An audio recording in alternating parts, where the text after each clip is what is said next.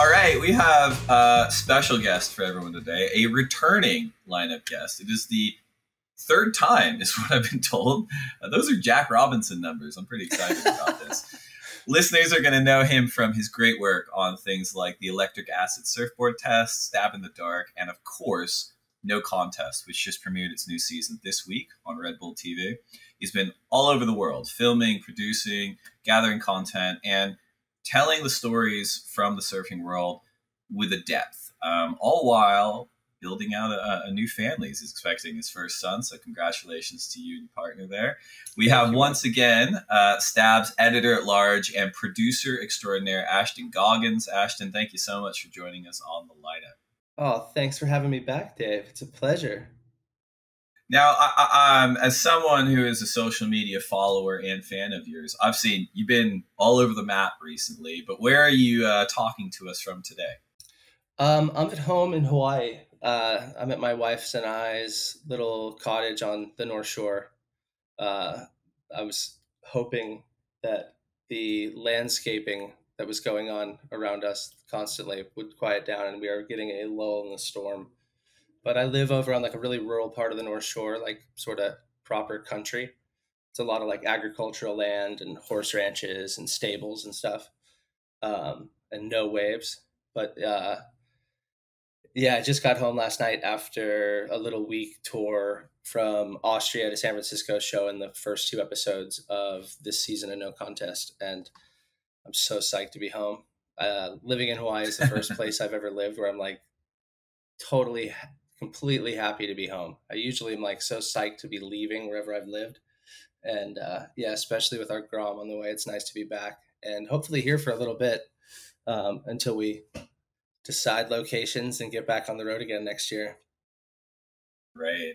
And, and I know we've talked about it on not one but two podcasts before. And you know, you grew up in Florida, you did time in New York, California, and, and now Hawaii. How long have you been in Hawaii, and, and what was the catalyst for that decision, and not only the decision to move to Hawaii, I think most surfers to be like, we don't need that answer, we got it.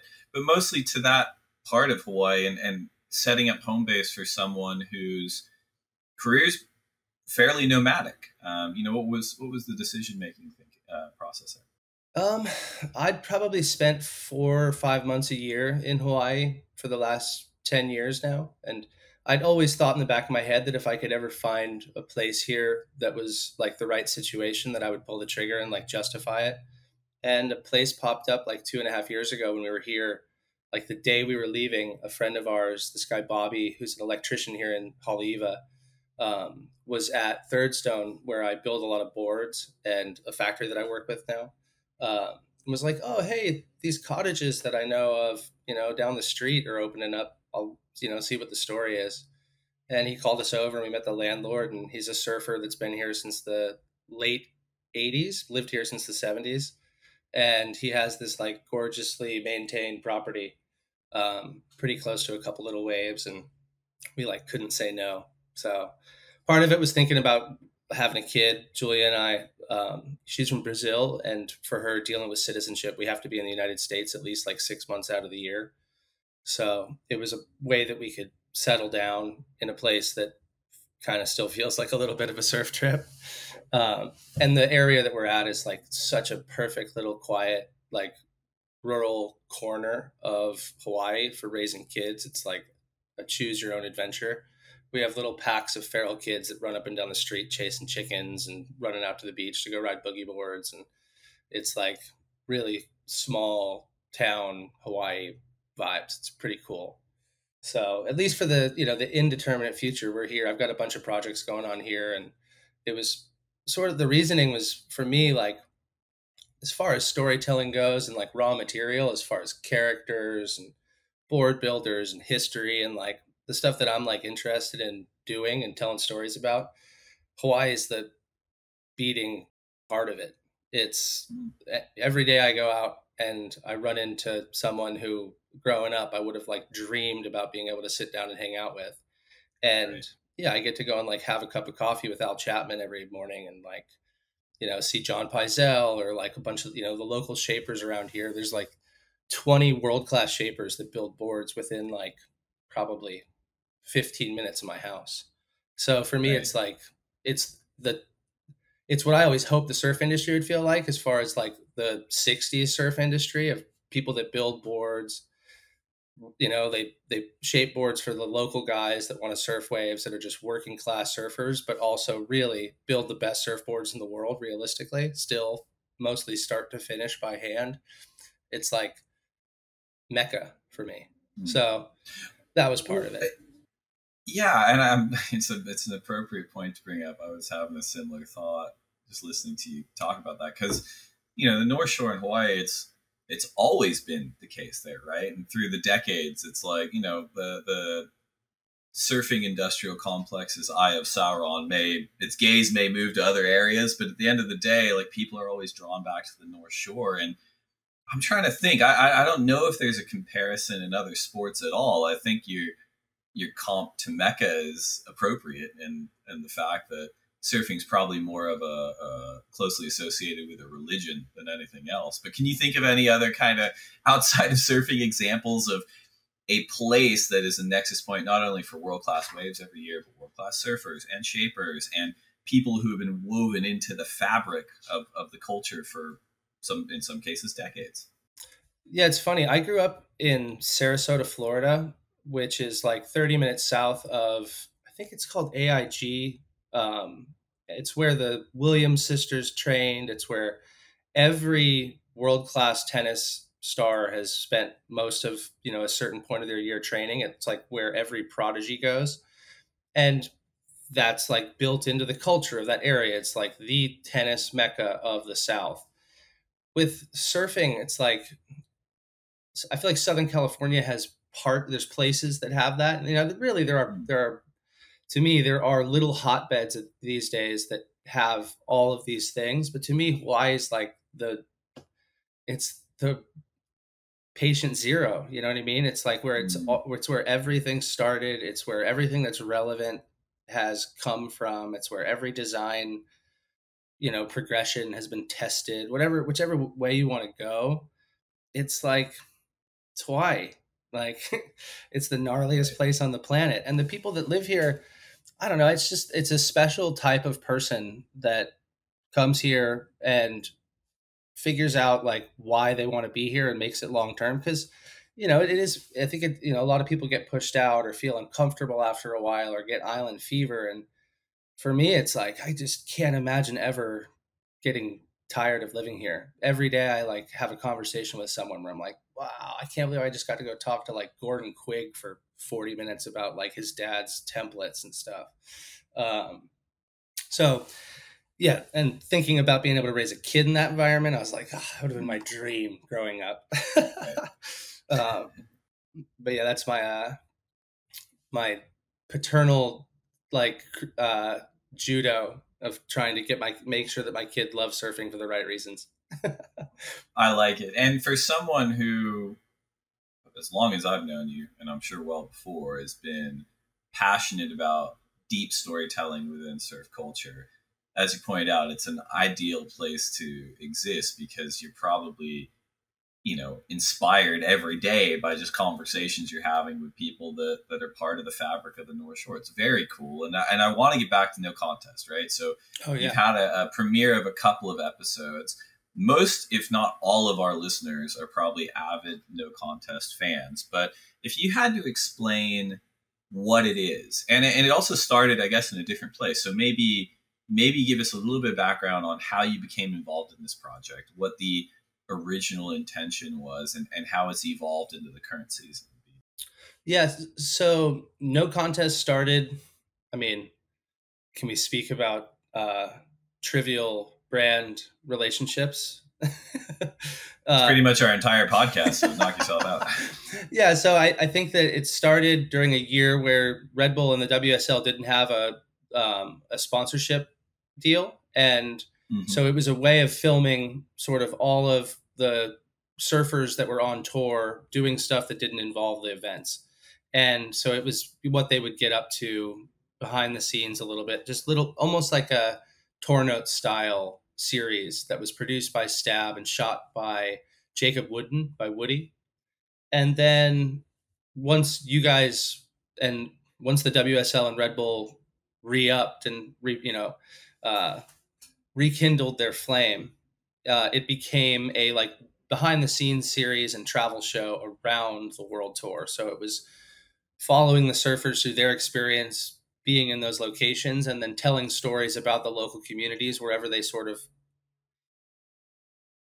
wherever those two things came together around each event. So it would be you know where everyone went to eat or whatever like the local you know sort of vibe of each location was. It was to give people like a sense of the actual reality of like whatever you want to call it the dream tour. Like what's it like to be mm. on tour? Like where do they eat? What do they do in the mornings? Where are they free surfing? Like who are they meeting? What are the local guys?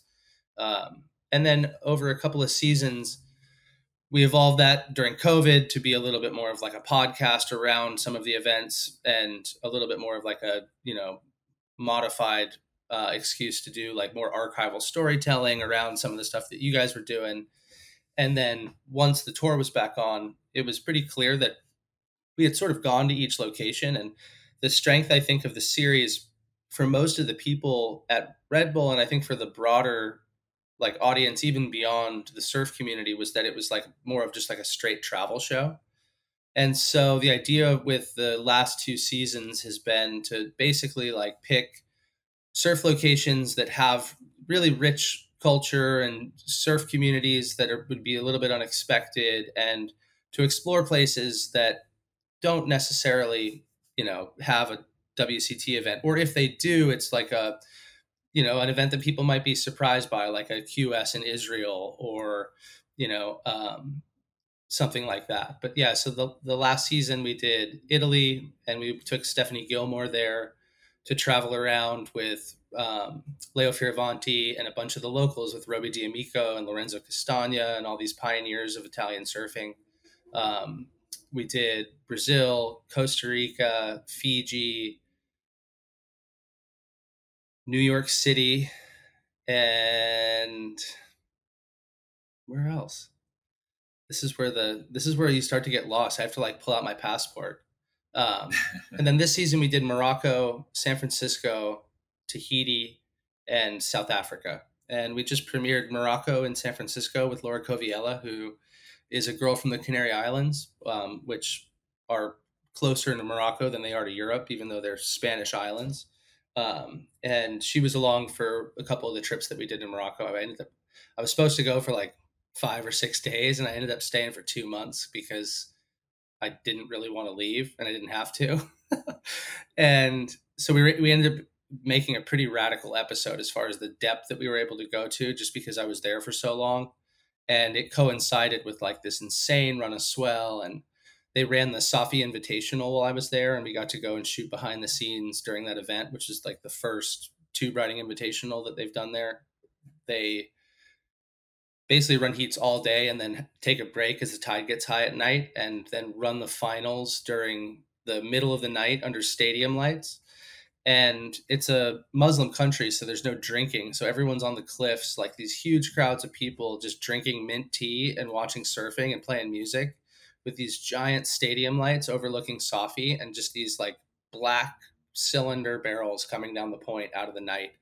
Um, it was insane but yeah, we, so Morocco was like probably one of the best trips I've ever been on. We were there with Othmane Choufani, who um, I think he's gotten alternates into some of the WSL Big Wave events. I don't know. I know he just got a an alternate invite to the Eddie, but he's like the big wave pioneer of Morocco, um, and probably one of the most like well known surfers amongst surfers that I've ever known. Anyone that I work with in the surf world is like, "Do you know Otman?" And without fail, everyone knows him. But he showed us around and put us up at his friend's place, this um, this surf lodge called Paradise Plage, and there's this whole network of guys within that area that are like so well connected within the government, within the surf community, within all the surf developments that have sprung up around Tagazout and Agadir and, and Imsouane. It's like a pretty cool example of surf tourism, like really like helping a region that for a long time was like I think perceived as being pretty raw and roots and like difficult to go to or even potentially dangerous, but it's you know really demystifying and showing how incredibly hospitable and like warm and open of a culture it is and how you know sort of luxurious of an experience as you want to have you can have it there. Um, and as far as waves go it's like a choose your own adventure. So that episode was really mm. special. We were there for ages and we were able to do a ton of local profiles board builders and longboard kids like the full spectrum of um, moroccan surfing today. And we were able to bring like this whole crew of european guys um, the whole pukas crew came and yeah it was a really really fun trip. Um, and then tahiti we went and we went and met with Peva Levy. Have you ever met Peva when you've been in Tahiti? I've, I've met Peva, yep. Yeah.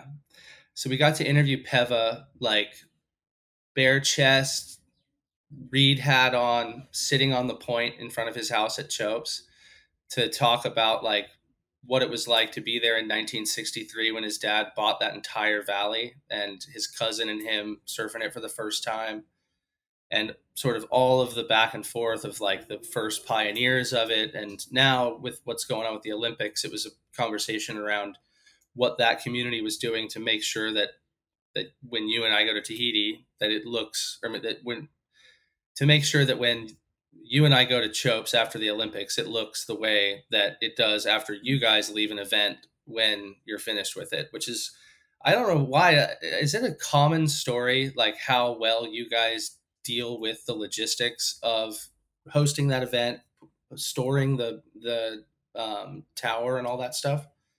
Because to me, that blew um, my mind. I wish I would have known that going into it because we would have filmed that whole space because it is such a like elegant solution to not having this like thing that's just getting blasted and constantly having to be repaired sitting in the lagoon the way that it often has to in places like Fiji where it's like oh it's just a blight. Well, it's a it, it's a yeah i mean it's a good point and I, I probably we probably don't get celebrated for that but it i think it's sort of intrinsic to how our business operates too right? Like we we we have a we're we have an enviable position right? We have the platform for the world's best surfing. It's great. That requires like really good relationships with the communities we go to right? So it's something i think that's been built up almost from the beginning over these decades and and how are you working with local families? How are you being, you know, sensitive to the environment? How are you trying to leave it better for the community than than when you turned up? And it doesn't always work perfectly, I'm sure, but it's sort of self-selecting in a way. Like if we're doing a good job, we get invited back. If we're not, then we have to make changes. And uh, well, I, I think argue, that's just like a different business proposition to the Olympics, right? That's like we're coming here for one year and then we're never coming back, and it's yeah, it's a different kind of animal in a way.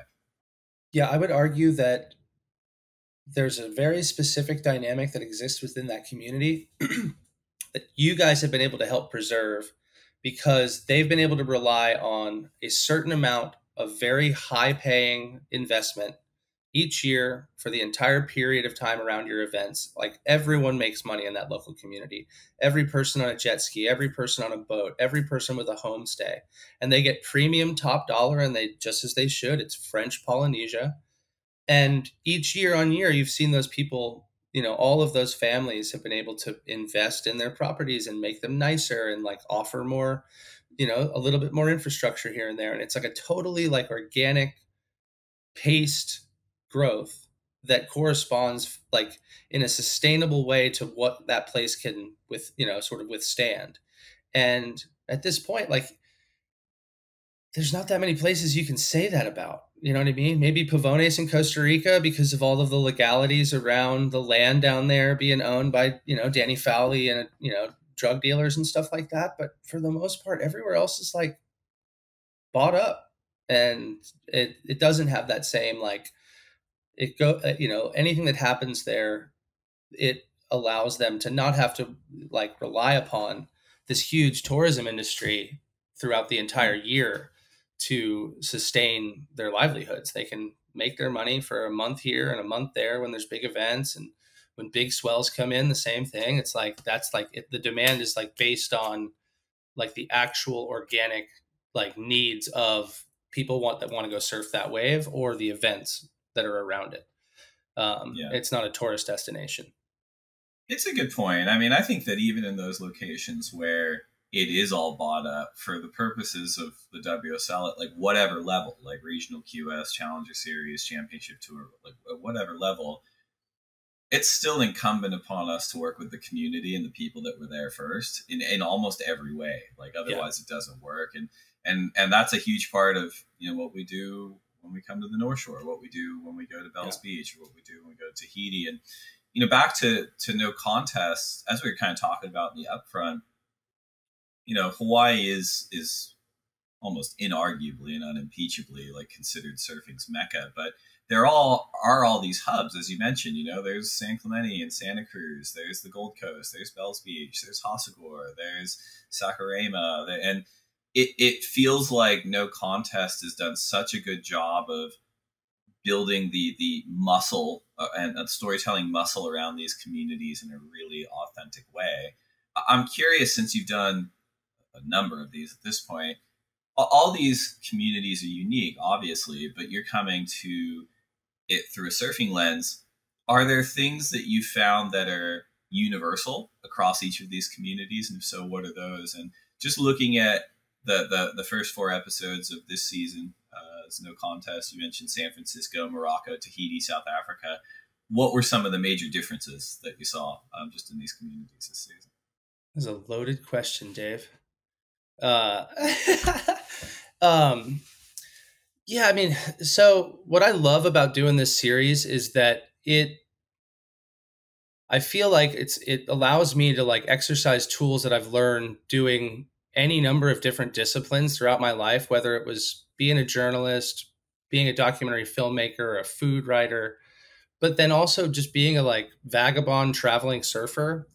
And for me, like the the a successful surf trip wasn't just scoring waves it was like the the it was meeting like the real local like heroes of each location whether it was a board builder or a guy that ran the local shop forever you know the people that that have run the local like whatever the cafe or local restaurant that everybody loves is and like feeling like that you've gotten a sense of like what's important to each place as well as like scoring waves and a lot of times doing surf media, it's a fairly like exploitative transaction with most of those communities. You're flying to a location when there's waves, you're filming a pro surfer, and then you're making something out of it. And you know, at most you might premiere it in that location and they might be psyched because the guy was cool to surf with. But a lot of times they're like bummed about it. You know, I've I won't mention surfers' names, but there's surfers that have done projects in a lot of these locations that were like incredible super long form, beautiful, like tons of footage, you know, shot over long periods of time with very little like local story or presence at all. And where I would think that these people would be like super celebrated because they made this like amazing film that was shot there. A lot of times they're like, fuck that guy, you know, like he didn't do anything for us. Um, and, you know, burned us or talked shit or, you know, whatever. So for me, it's like being able to like navigate that world through the relationships that I've built over the years, like that to me was like for me like my dream of being like a successful like surf person, just a surfer to me is someone that feels comfortable anywhere around the world in all these different like surf communities because you've met these people through all you know just interactions in all these different locations. And at this point i feel like i've done that. And so filming these a lot of times i'm able i know going in that i'm going to be able to tell stories around around people that i know and love and like i've spent time with and understand the like complexity of their stories. And through them i've already have a somewhat of a familiarity with the locations. So with like south africa for instance we got to go with alan van gysen who has been he was on the morocco trip too as a photographer and uh, and camera operator as well but on in South Africa, he was like the star and the guide of it. And for me, Alan is like Crocodile Dundee. He's like the like Dr. Livingstone of surf exploration. And he's one of the most incredibly like knowledgeable and well traveled and like well spoken individuals that I've ever spent any time with. And I've been lucky to make a ton of projects with him. He shot the, the first acid test with Dane, the acid test with Steph. He shot the um, the Take It Easy on the Zambezi trip, the river surfing wave documentary that we did for Vans in uh, in Zambia and Zimbabwe. Um, and so he was our guide for South Africa. And so we started the trip in Durban during the Ballito Pro, which was such a sick event to be there for. We cruised around with Kolohe and the 2% crew while they were there, like dominating. And the waves were firing the entire event. It was like world class, perfect, flat bottom, square beach break barrels for like two weeks. And cruised around Durban. We, we went into Durban City and did a profile on this kid's. Uh, have you ever met Surprise while you've been in South Africa? Little goofy foot. They call him Baby Italo. Little surprise. No. Uh-uh. I've been so, to South so, Africa in a few years though. So, so I met Surprise the first year I was on tour doing no contest with uh when we were there for the J Bay event, and he was out during all the free surfs, and he is this tiny little Zulu kid. He was probably 13 years old at the time, and just this like fierce little like stocky backhand, but just like paddling up the point, talking to everybody, chatting up everyone, like the funniest little personality.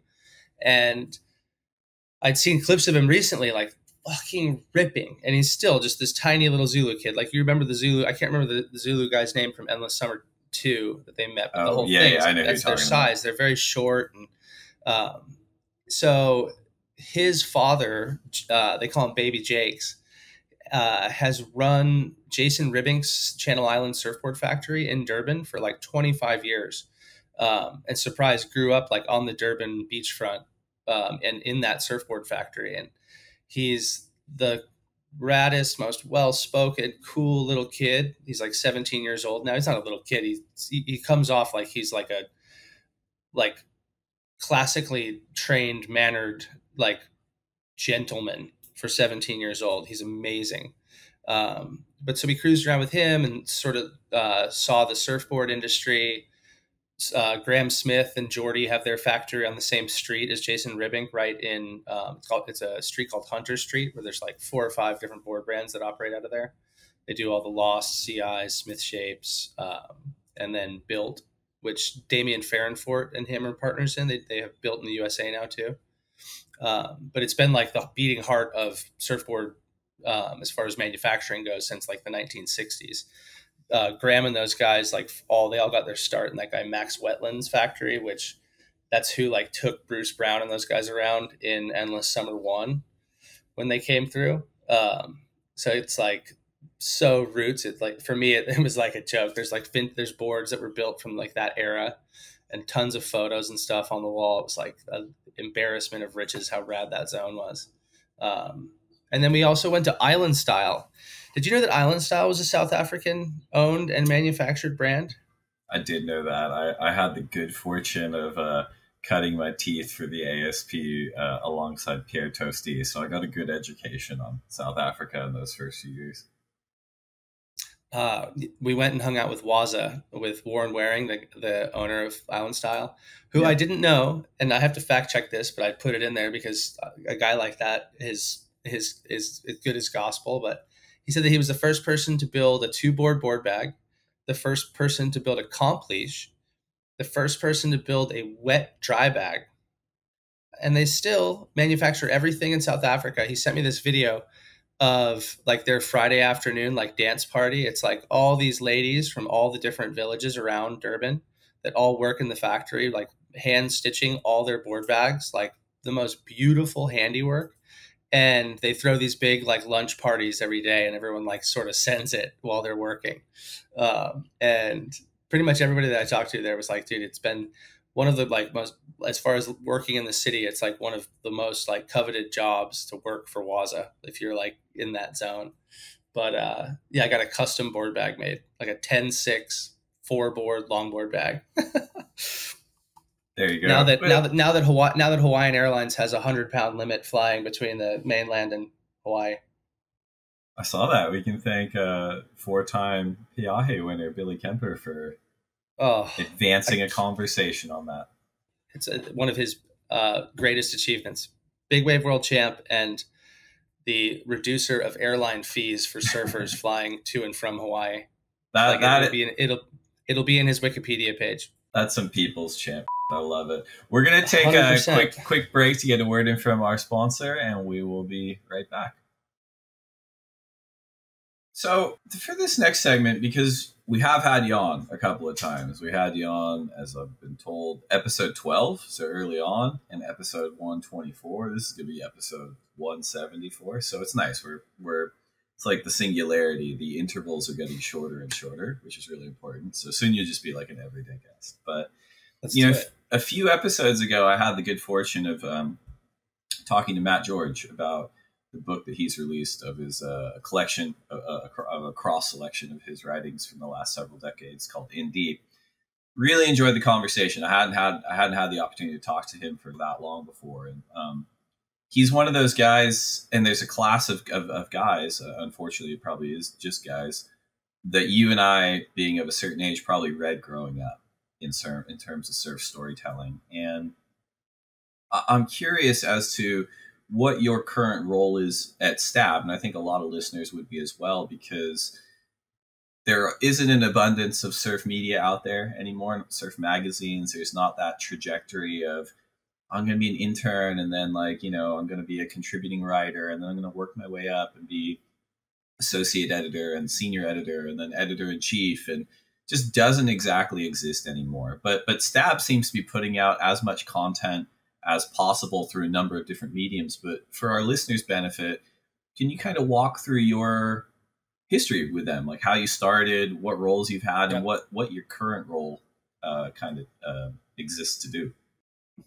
Yeah, so I so I started out at Surfer, um, sort of the tail end of when they were starting to close Surfing magazine, and I was there right at the sort of height of the like rivalry between the the, the more postmodern rivalry between the publications. And uh, at a certain point surfing closed and they absorbed some of the employees of the magazine into surfer so i went to be like a field editor for surfer and so i was traveling around doing a, you know stories I, I think i went to europe for like a few months and did a feature on the canary islands and came back and I had sort of pushed for Surfer to do a lot more than they were to try to sort of create business.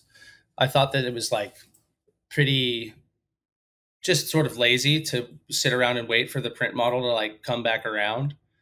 And they weren't really investing in films and documentaries and like sort of proper surf movies as much as I felt like they could have. And I had a different idea of what it was going to be than sitting in an office in Carlsbad like writing about you know sort of editing other people's stories about surf trips than going and like making projects happen um, and so i met sam mcintosh from stab a few times in hawaii and ran into each other at malibu with his family and at topanga over the years and we were surfing a little sandbar in marina del rey i'll call it and had a nice conversation. He texted me that night and was like, "Hey, would you be interested in sitting down? Like, I'm buying back Stab because at that point it was still owned by Surf Stitch." And so we had a meeting, and he showed me the the doc, the Volcom video that they did, uh, the very first one running off the dock in in Bali,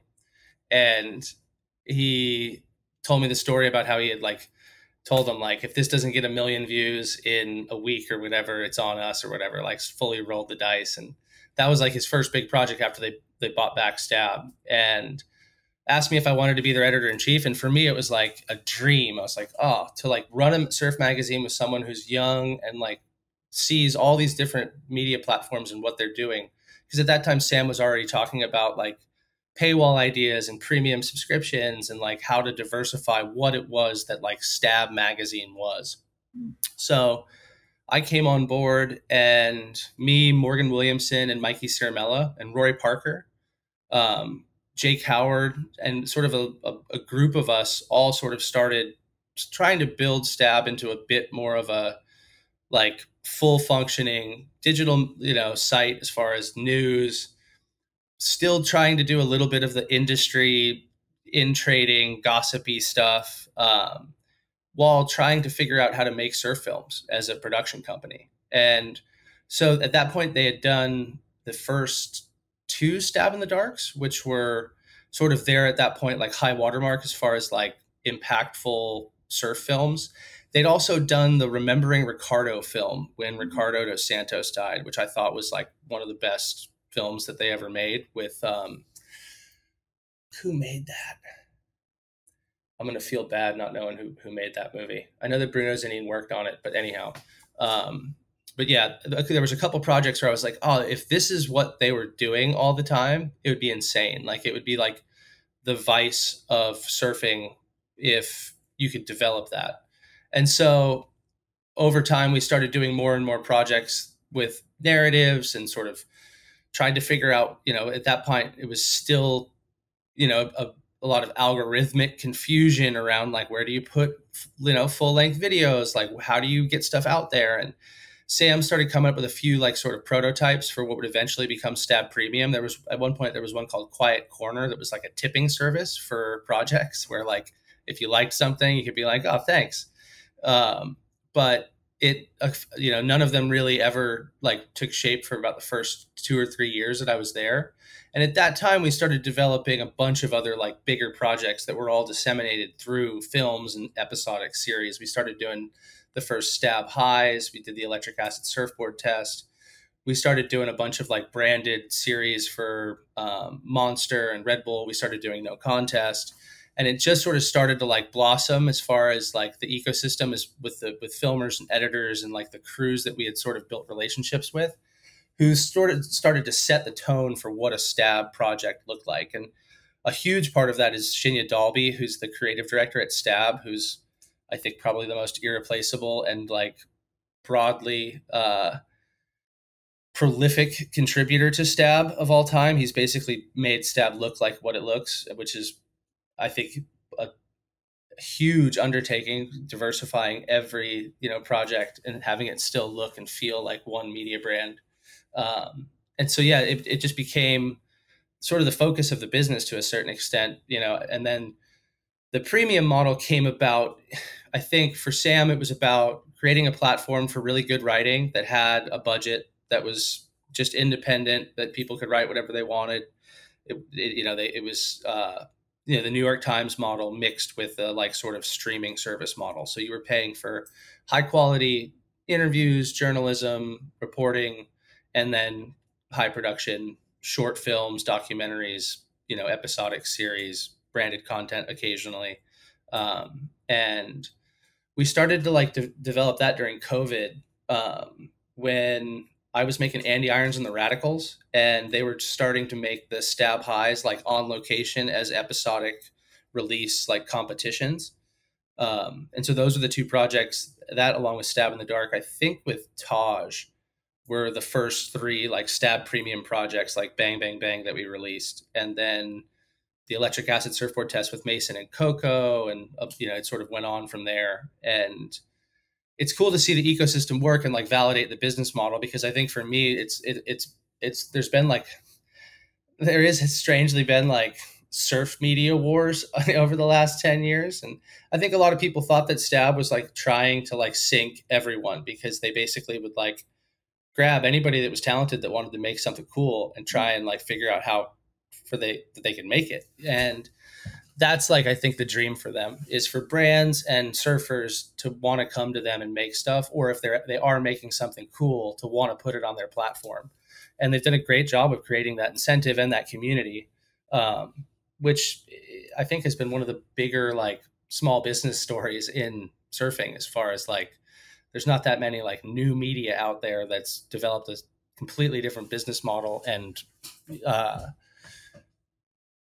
customer base of subscribers that I can think of, really, besides, mm-hmm. you know, maybe some like influencer, like OnlyFans and stuff.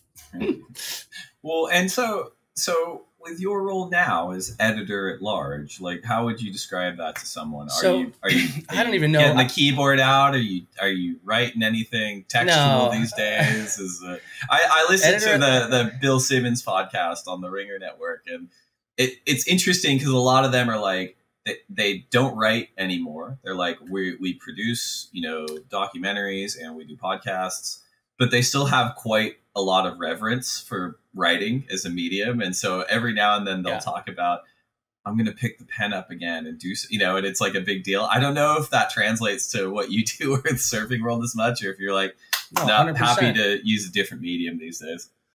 Um, so in the surf world, for the most part, I've just been doing no contest this year. I'm still, I'm, I've been working on a bunch of different projects actually outside of my role at Stab.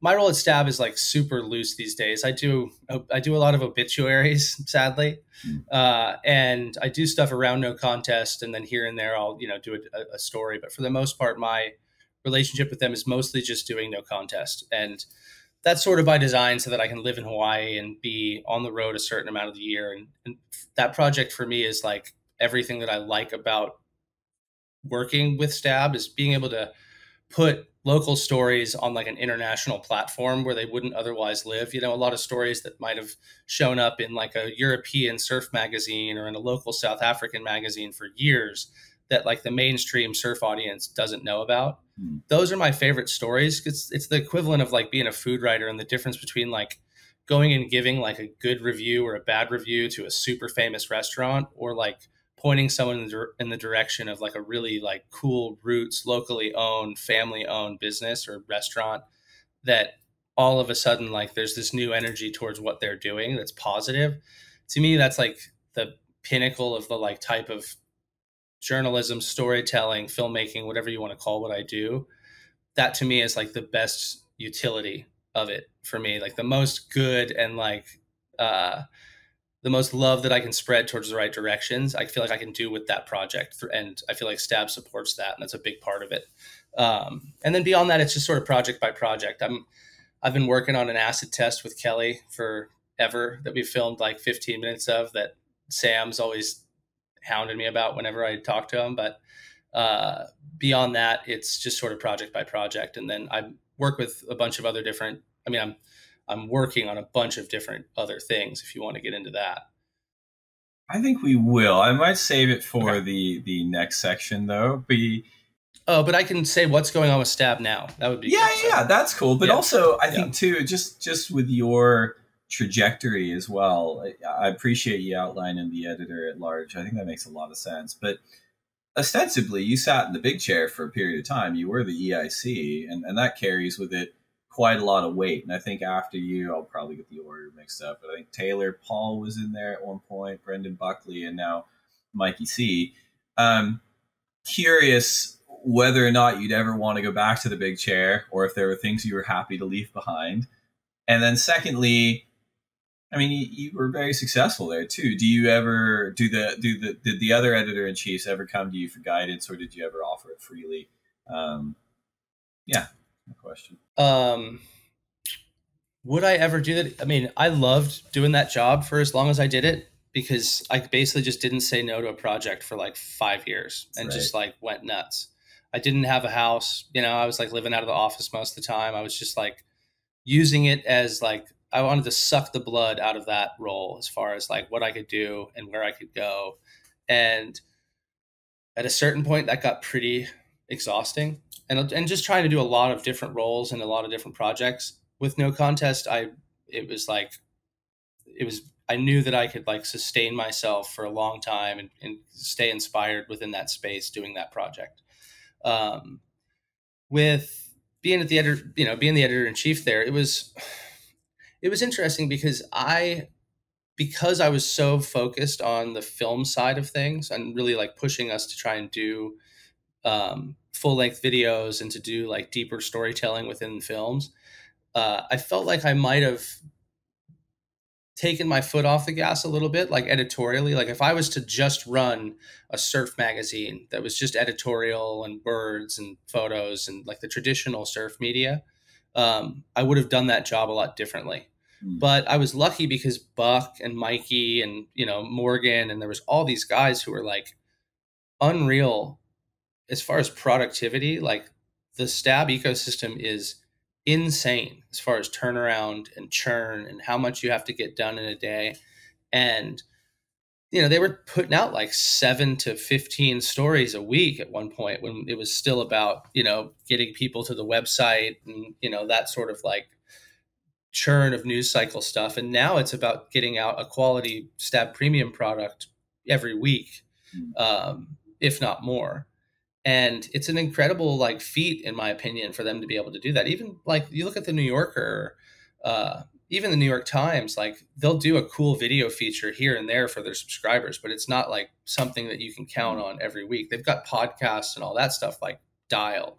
Right. But as far as high quality like you know films documentaries interviews it's got to be one of the most productive media spaces within a subculture that exists. I mean, definitely alongside Thrasher or anything else as far as like what they're producing and helping to get on their platform. Um, so, yeah, so nowadays Mikey's running it, which is rad. Mikey's living in Costa Rica, and him and his wife, uh, they just got married this year, Anna, and yeah, he's carried. He's decided to put that weight on his shoulders. It is. Uh, it's a daunting task dealing with that ecosystem for anyone that's done that job. It's a nonstop 24 hour, you're on the clock. There's it doesn't stop. The internet never ever sleeps. And because of that, there's either something that needs to get done or something that has gone wrong or a fire that needs to get put out right. or you know this that or the other it's a constant thing and mikey's been a workhorse for so long um, and he's one of the smartest people I've ever worked with. He's such a like unique and singular curiosity about surfboard design and like competitive surfing. Like his specific interests are uh he's like a, an absolute like encyclopedia about. And so I think that uh, you know for him it's like a great role for the time being. That I think he's stoked to be able to live in Costa Rica and then bomb around traveling producing the projects that he needs to do for them. Um, I know he's been like doing all the the reality show stuff, Stab Highway and Stab High and all that stuff, um, which they look like so much fun. But oh my god, would they be miserable to make? Every time I that I talk to those guys, I'm like, I'm so glad I got out before we had to do I had to do road rules. Holy shit! It's a different uh, takes a different animal, I think. You know, like one, yeah. of the, one of the things I'm interested in with your role historically and, and current is the even outside of surfing the debate between documentary and then documentary that's also executive produced by the subject it's on which people tend to bristle and go like well that's about access you know and as a consumer of content i haven't i mean i guess i've had to be on the other side of the lens a few times but it's I see value in both. Like sometimes, depending on the topic and depending on how well it's made, it's like yeah, I want this to be the unauthorized version because I don't want like a sanitized version of the story. I want the truth.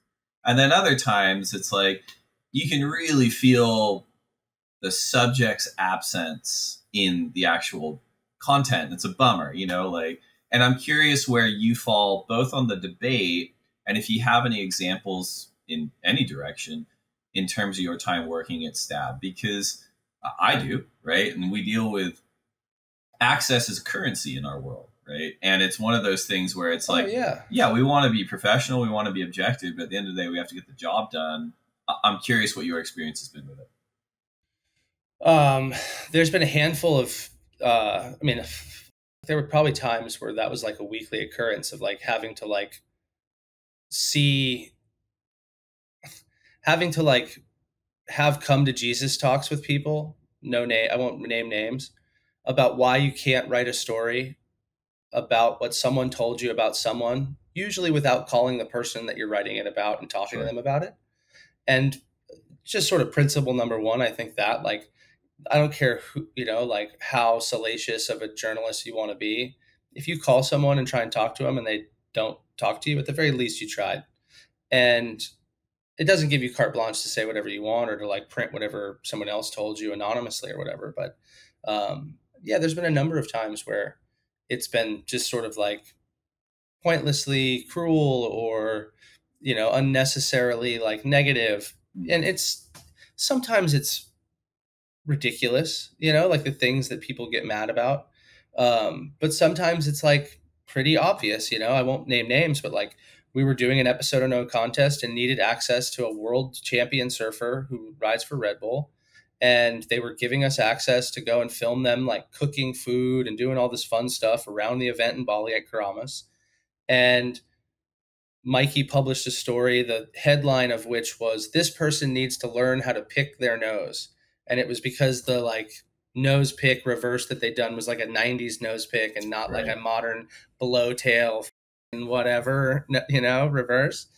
And they're furious. They're like, I just gave you my time, like because I'm associated with it, because right. I'm like whatever yeah. the editor in chief of Stab. Even though it's like I'm in Bali, like trying to put together a shoot and you know host people at a dinner that we're like filming while this stuff's going live, and like having to react to it in real time. You're like, me, like it's just like potholes that you'd never expect to see coming. Um, it's interesting but, that uh, I'll go. You go on. Sorry.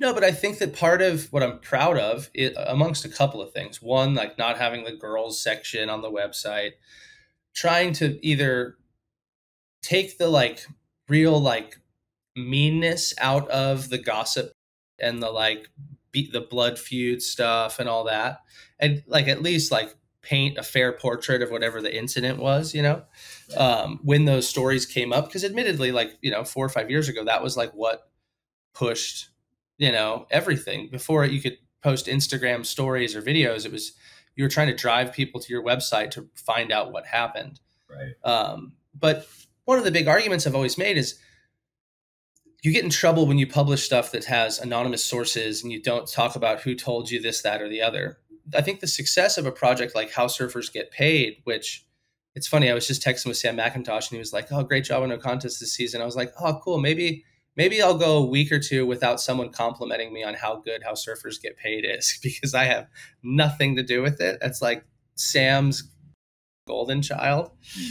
But it was a, you know, it came out of the fact that there's all these stories that exist within surfing, contract negotiations and beefs and all this stuff that if you just go and drudge up like a third party account of it or talk about it, it's like petty and no one's interested.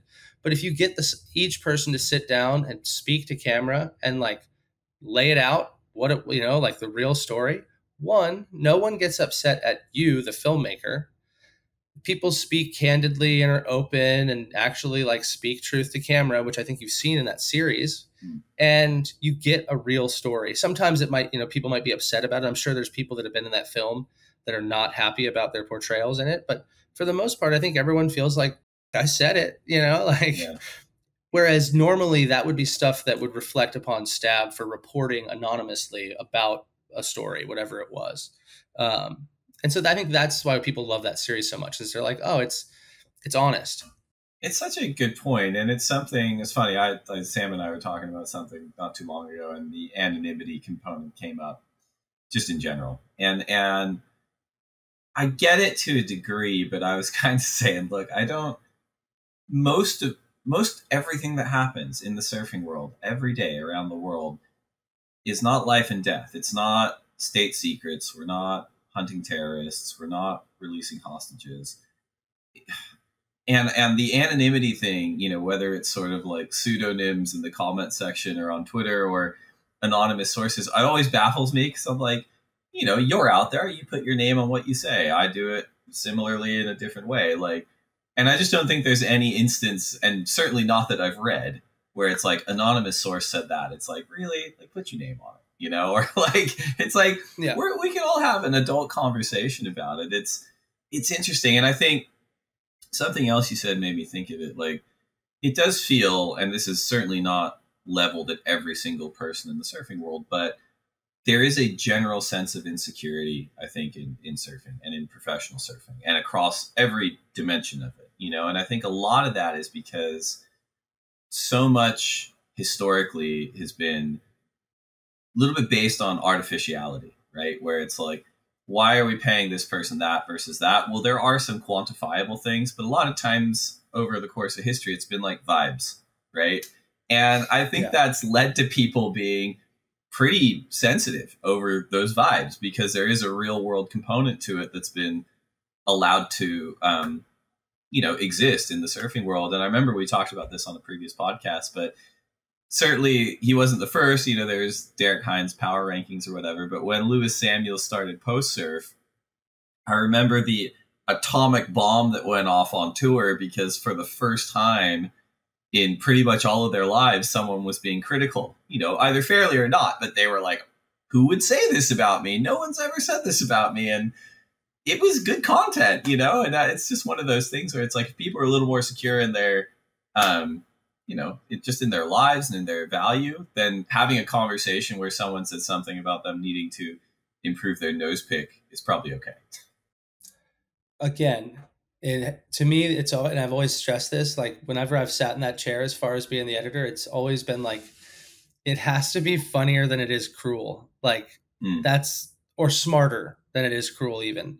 And I feel like Lewis was always like right on the button with that. Like right. what he was writing was like so clever and witty and it was never like it was never like gross or you know it was it was fair criticisms written with literary references and movie references and like subcultural stuff drawn in the way that like any good you know it's like uh, someone that yeah I don't know like Greil Marcus writing for mm. Rolling Stone or something like that or like Lester Bangs like you can't get upset at them talking shit about something if they're doing it in a funny way like even the band's got to appreciate that they took the that they took the time to think about it that long well, know? and doing it from a place of love in a lot of ways, if not yeah. so much for the band or the athlete or the subject, for the the center of gravity around which that revolves. You know, like and yeah. for surfing, it's like yeah, like the center of gravity we're talking about here is world class surfing, and however you want to define it. And as you pointed out, there's it's worth having those kind of criticisms. I think it makes everything stronger. It's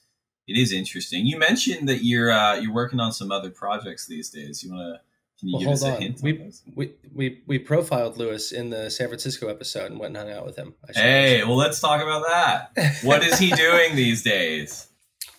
So Lewis works for a tech name, a tech company that will not go named, and I'll butcher what his job description is. It's like a game of telephone because it is that complicated. But right. from what he's explained to me, he is like a cultural ethicist for. Sorry, I can't say that. Let me say that one more time. Can you? We can. We can. We can. What we should yeah. do is just um, bleep it because it'll be funnier. okay.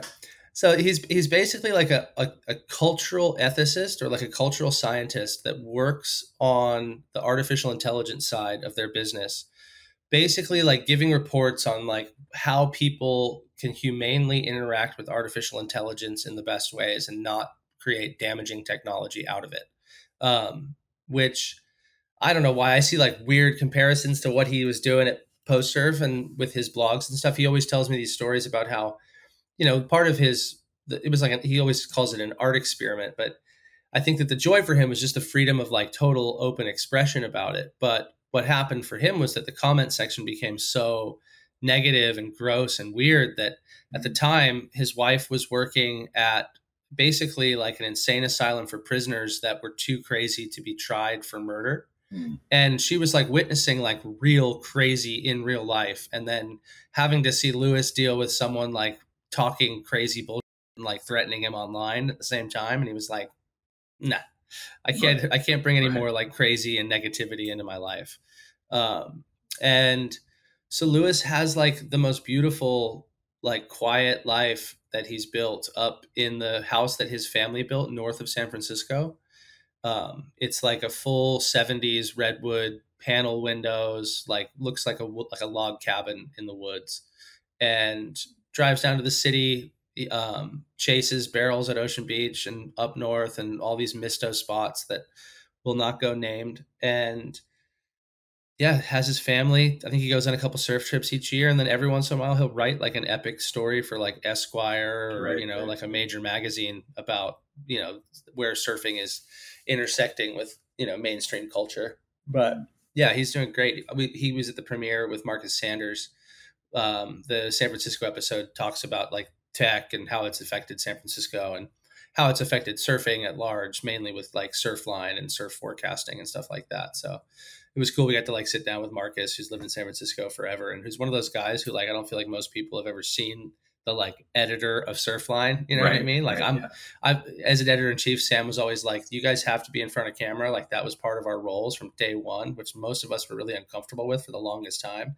Marcus, I feel like I has seemed always uncomfortable to be on camera, and then when we put a camera on him, he was so charming and such a good storyteller. And yeah, he was great. Um, and yeah, it was that episode was rad just because San Francisco before I moved to Hawaii, I did like 10 years in San Francisco. And besides here, I spend the most time there just because my brother and my nephew are there. So I'm mm-hmm. there like three or four months out of the year. And I know the like nuances of that culture and that scene and that community. And it's the, to me, it's like the best city in America to be a surfer. No offense to Los Angeles. Um, but only because you have to go through the process of getting to know a number of groups of people in different categories within the surf scene there, whether they're guys that work at, you know, in tech, like Mark Valenta, who's one of the creative directors at Adobe, or mm. the guys from Mollusk in San Francisco, uh, in the Sunset. It's like this, you know, artist collective and, you know, probably the best selection of surfboards on the West Coast of as far as like hand shapes and, you know, uh, alternative or esoteric surfboards um, and then just you know surfer owned restaurants and it was rad. We got to cruise with Matty Lopez. Have you ever met Matty Lopez throughout the years? I have not no. Matty's like probably one of the only like he's a third generation San Franciscan, but he's like one of the OG like second generation surfers. His dad was a surfer from the 60s and 70s but he's one of those guys that like every winter will get like the biggest barrel at Ocean Beach, like a clip of it from five angles and like local hero status. Like Surfline will run a gallery and it'll always be like a one wave of Matty just getting blown out of like a 20 foot pit at Ocean Beach or Mavs or anywhere. He's just like one of those like underground guys. Um, and he's actually my, he used to be my brother's neighbor um, in the neighborhood and owns this bar called Pits that's like this old sketchy dive bar that he like completely revamped like revamped renovated kept its total original charm and it's like the perfect mix of like divey gritty like sort of dark san francisco vibes with like perfect local like surf history and culture and like sports stuff from the city and it's the raddest little bar. So we, we were able to do a bunch of like local business profiles and character profiles and um, Lewis took us to meet Pee Wee. Um, this guy, his name's Bill Bergerson. He's the the protagonist, or I guess the antagonist in uh, playing Doc's games in Bill Finnegan's New Yorker piece. Ah, right. Um, so there's there's Doc Renneker and Pee Wee, and Pee Wee's the guy that's like, don't talk about it, don't tell people, don't film it, fucking just go surfing, like OG core lord and we got to go interview him like sitting against the like brick wall at Fort Point with Matty and Lewis like going through like the whole history of San Francisco surf culture from like when that was still a military base and they would give you tickets for surfing and chase you out of the water with guns and surfing without wetsuits and stuff. Um, and he's 70, just turned 70, still rips, surfs Ocean Beach when it's big. And they put together this like amazing film a bunch of his friends did of like all this footage from the 90s and all these old photos for his 70th birthday that he sent us that we got to use some of the footage. And it's like the most timeless surfing like 90s long like hawaii guns being ridden by like sort of derek Hynd's style 80s surfers like 10 foot ocean beach perfect glass. Um, and i think probably the era now that i think about it that that I think Bill would have been there writing that piece. I need to, I don't remember what year that came out, but um, I'll have to look. I know he started writing it at some point in the 80s, but um, but yeah, just like the most timeless archival footage, which for me, like doing no contest, like trying to find period correct footage when they're talking about history is like so challenging, and it was just like a gold mine.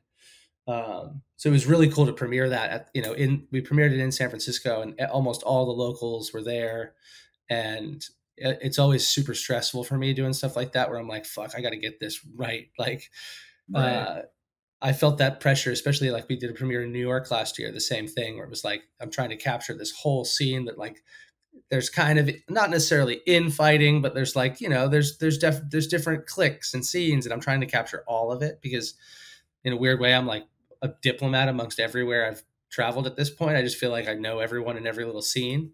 Um, and that was definitely the most like complicated episode to get right. Um, and I think we did. I think people are like pretty hyped on how the episode came out. We were able to lean on like a amazing archive of that zone that was shot by Perry Gershko and the late Chris Wilson of Power Lines Productions, hmm. who there's very few people that have like documented San Francisco and and Mavericks as well as those guys up there, Kyle Boothman and that whole crew. Um, but like I said, that in the film, it's like a few days a year. It's the best beach break in North America, but it's very, very rare. Um, so it was you, cool to you, like you brought it. up something interesting there though like and and it does feel like maybe this is an interesting kind of bow to put on this segment of the conversation because you've done quite a different quite a lot of different things in, in storytelling inside and outside of surfing it feels like for you personally you've gravitated towards a medium and a pace that requires time and space to get done um, so you can go deep right which is really at odds with modern media landscape in some ways in terms of we have to feed the beast every day. We need social media content every day. We need you know, website content every day.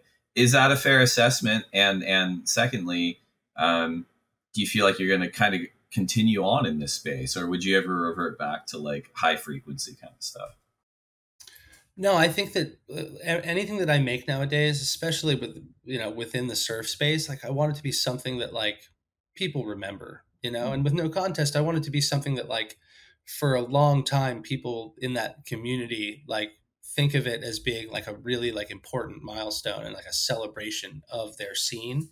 Especially with the local focus of the last two seasons it's like i feel like it's like a, an ecosystem that we've built that i get re- you know now i get reached out to all the time by people in different locations saying oh come to ecuador come to new zealand like we want to do an episode you know it's like i feel like it's like this it's built this network that like people now want to be a part of. And that for the local community of people in all those locations it's helped drive business or help you know get them sponsorships or get support for different things. And and actually this next year we're going to be i'm working with um, a company called thermal that was started by a friend of mine named drew who was uh, a part of like kayak.com and that kind of stuff who's helping me do these like residencies in each location where people will be able to come and basically have the same experience that I've had with no contest. You spend time with the locals, the different stars from the episode is, will be the guides to each location, and we'll have week long slots throughout a month with you know a board residency with with different brands that we're going to be working with, but basically have it be where it's like a competing a trip to a boat trip, but all the money goes to a local community, like directly to local businesses, local hosts, local guides, and local restaurants. Um, and where people leave feeling like they've really like learned and become like familiar and like sort of in a weird way like the, the, same way that i feel like they have like a real strong like almost family connection to these locations because they've spent time with the people that like make it what it is um, and so we're working on putting together those packages for, I think the first one's going to be in Pavones in May, um, which we shot an episode on last year.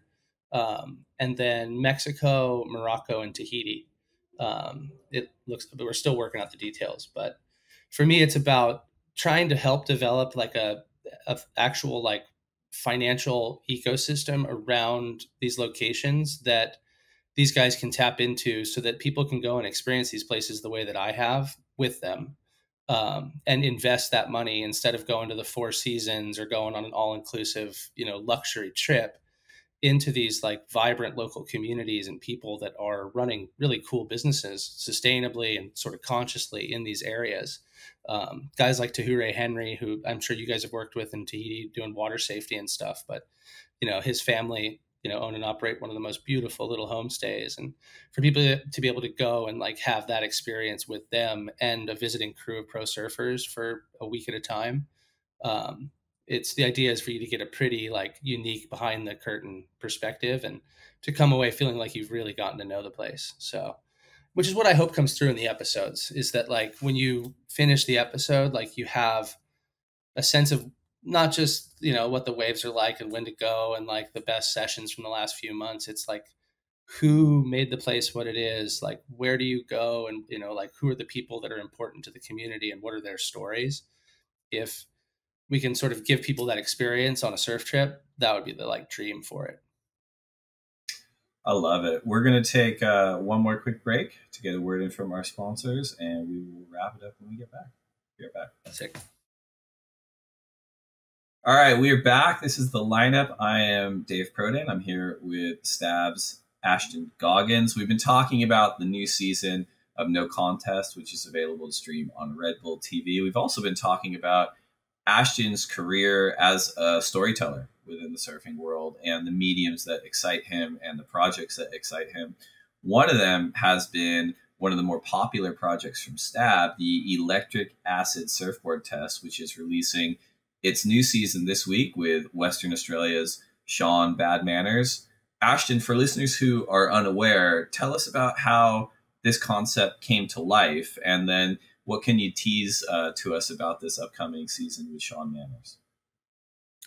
Yeah, so the acid test weirdly like predates even my time at Stab. I I'd always had this dream of like having a space, which is kind of what I'm doing here in Hawaii, but a space where like a surfer could come and basically pick through this like really eclectic quiver of surfboards and go and like tap into that experience that was like a completely new sort of feeling and uh, sort of world as far as surfboard design. And I was working with a friend of mine, this guy Stevie, who owns a surf shop now called Two to Three and Fair in Venice.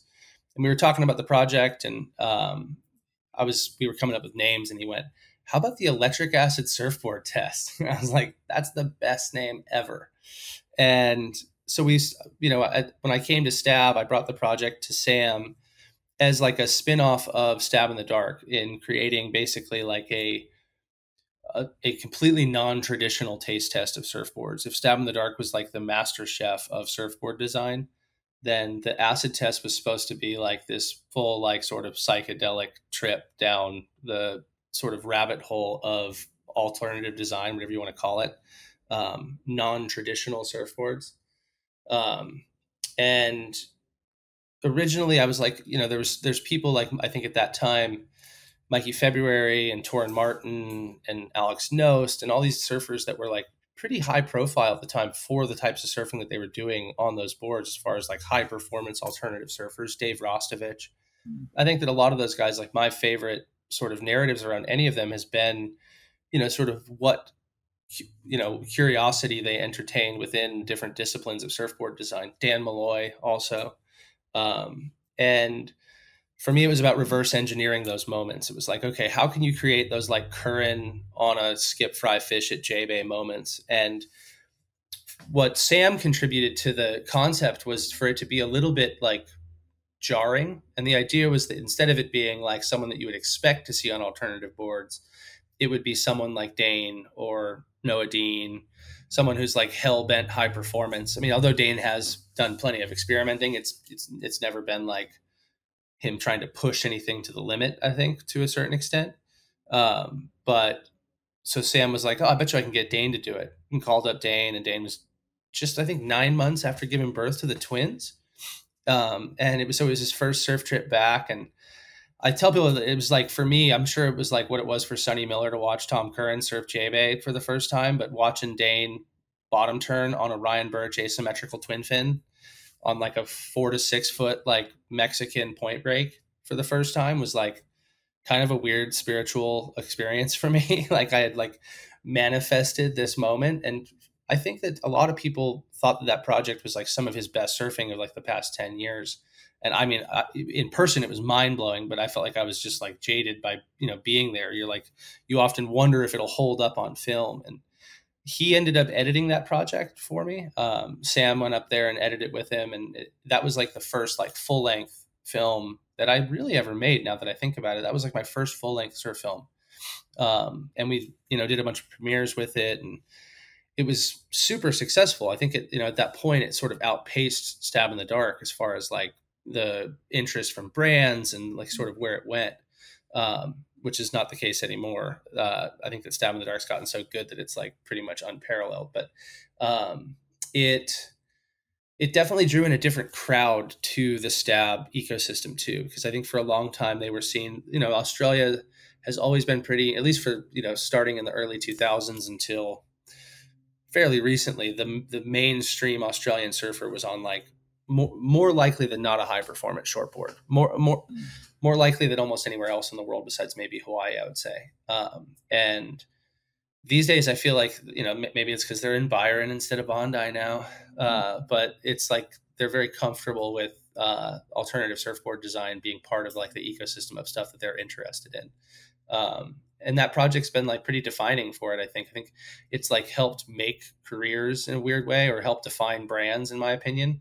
I know that uh, Matt Parker from Album, when we first put him in the first episode, Dane ripped on his board despite like hating the way it looked and not liking the color and like everything that it had going against it, and absolutely shredded the thing. And like I think it ended up being the runner up, but it you know, it, it piqued the curiosity of Josh Kerr and all these other surfers that started getting on his boards. And all of a sudden, Matt's, to my mind, like probably the like the biggest success story as far as like developing a surfboard brand around alternative high performance surfboards. Um, and uh, you know, he's working on a board brand with a very famous surfer in Hawaii that's supposed to release here in the next few months. That I can tease but not say who it is uh, and he's like you know he's I, I, feel like it's been nothing but like a upward trajectory since that project for him. And i think that that is sort of like a blueprint now for you know people seeing someone engage with somebody else's like different design than they'd ever seen and seeing what that looks like. And that sparking a huge interest in that design um, and we did the same thing with with Simon Jones with Stephanie Gilmore. I think that you know Simon's boards had a, like a really cult following, and then when Steph picked it as a winner, and uh, and Noah really liked it, and you know I think we got Chippa Wilson riding his boards too. It was like all of a sudden it was like he was one of the most like waitlisted surfboard shapers on the planet because he still does it every board by hand. Right. Um, every one of those channels is like Simon in there.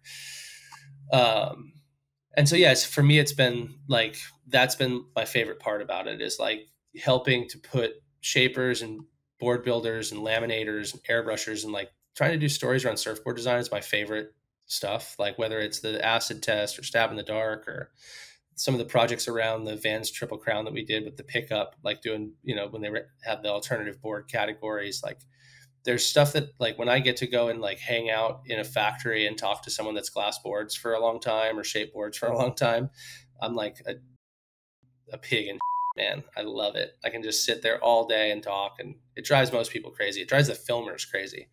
We, you know, we'll shoot an interview with like Jack Reeves and Owl Chapman or something like that. And I'm like, you can't turn the cameras off. Like, I'm sorry. I don't care how heavy it is. Like, this is your, this is your burden to carry this is like history right. being put into your camera. Like deal with it. Um, but yeah. then again, I get to like stand well, you, off the side with like my arm on something, like casually right, talking yeah. for four hours at a time. Drink a beer, you're good to go. Yeah. Yeah. The the you mentioned some of the subjects for this particular project. You know, Dane and uh, Mason and Coco and Mick. What are you expecting to see, or what can can can viewers expect to see out of someone like Shaun Manners tackle a project like this? Um, I think Shaun's someone who has like a ridiculous amount of like just sort of board DNA in him from his dad being a, a shaper, and I think Western Australia's got a, it's like a pretty open minded place when it comes to like weird boards, realistically. Um, but he's just such a like he's like a Craig Anderson level like talent. I think when it comes to like all categories, you know, he'll send it under the ledge. He'll do beautiful open face rail surfing. He can do it, you know, any air that you can name. And for me, I think it'll be exciting just because I always want to see these boards like push to their limit. That was my mm-hmm. favorite thing about Dane, like having like having these boards put in real waves. Because for the longest time, they were always I think alternative boards were always seen as the boards that you rode when the waves were steady. That you always rode your short board or your step up when the waves were good. And especially as as people have become much more comfortable with boards, you know, between say six two and eight foot, like this sort of whatever you want to call it, mid length range, longer board thing. I think that people have like had the real pleasure of realizing that you can draw crazy beautiful lines and have tons of control on boards that aren't just your standard round tail hmm. three fin shortboard. And to me it's like someone that's been sitting playing an electric guitar playing the same three chords over and over again like all of a sudden being given like a banjo or a mandolin or you know like a saw or something else to play where they're like oh wow look at these sounds i can make. Like i didn't even know i liked this. Um, to me that's like part of the like joy and is as far as like personal creativity and surfing.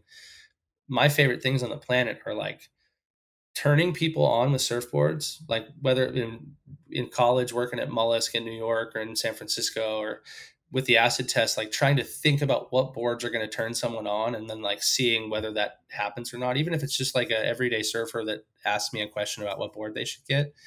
Um, when I see that like positive interaction between someone opening their mind up to something and going and experiencing it within the context that I've tried to frame up for them, like saying, go and ride this board at this wave with this type of conditions and try and do this and showing them references, like trying to give them like the full sense of like why they have the board under their arm that they have.